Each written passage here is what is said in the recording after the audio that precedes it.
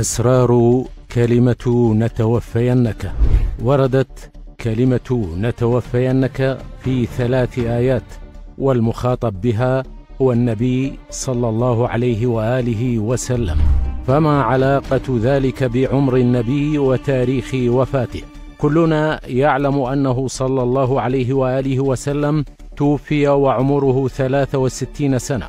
ونعلم أن عمره صلى الله عليه وآله وسلم مقسم إلى ثلاث مراحل رئيسية. الأخيرة منها أنه مكث في المدينة عشر سنوات وقبلها مكث في مكة ثلاثة عشر سنة وقبلها مكث أربعين سنة قبل النبوة طبعا. فهل يمكن أن نجد هذه الأعداد بالضبط؟ أربعين ثلاثة عشر عشرة.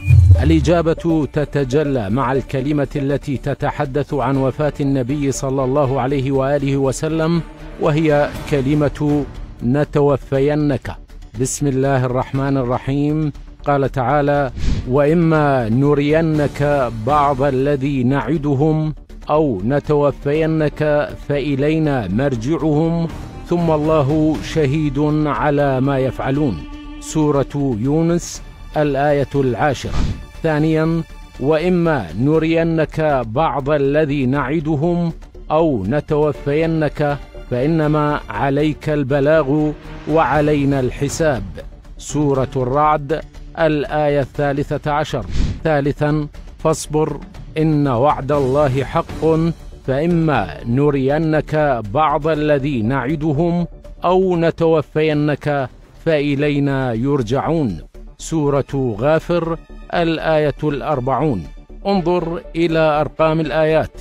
ثلاثة عشر عشرة أربعين. تجد أن المجموع ثلاثة وستين. لقد وضع الله هذه الآيات الثلاث في ثلاث سور نظنها عشوائية.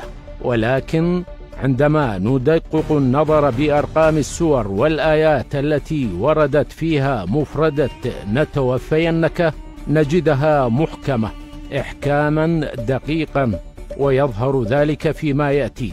اولا سورة يونس ترتيبها في المصحف رقم عشرة وترتيب الآية في السورة العاشرة وهو عدد سنوات الدعوة بالمدينة.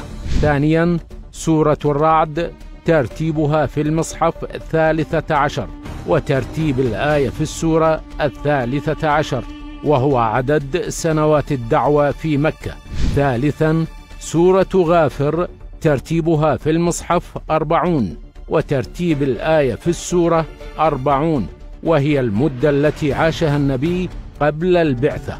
والمجموع هو أربعون زائد ثلاثة عشر زائد عشرة يساوي ثلاثة وستين وهو عمر النبي صلى الله عليه وآله وسلم. أفسحر هذا أم أنتم لا تبصرون؟